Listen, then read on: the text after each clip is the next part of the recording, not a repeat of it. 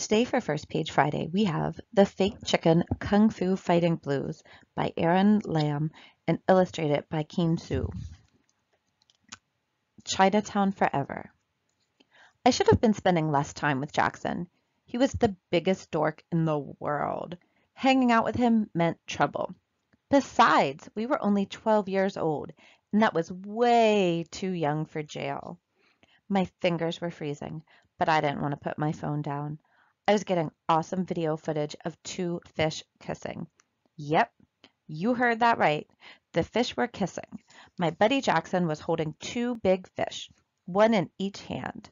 His gloves were getting slimier by the second, which was totally grossing me out.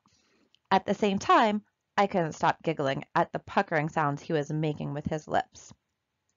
If you want to find out what kind of trouble our narrator gets into with Jackson, check out the Fake Chicken Kung Fu Fighting Blues from our library today.